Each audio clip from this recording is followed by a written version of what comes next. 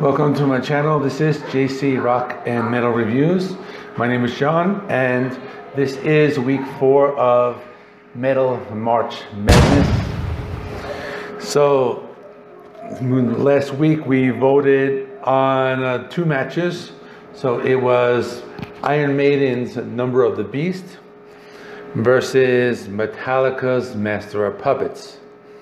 So Iron Maiden received three votes and Metallica received six votes. So Metallica Master of Puppets is going to the next round. Now for Dio, it was a tie. So Dio Holy Diver received five votes and Kiss Destroyer five votes. So let's go to the tiebreaker. Okay, so for Kiss and Dio, it was a tie again, so we got to do the tiebreaker. I got five votes for Dio and five votes for Kiss.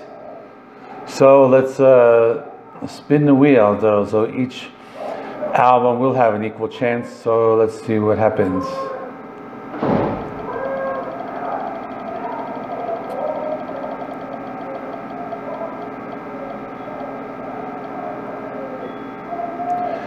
Okay, I guess Dio is going to the next round.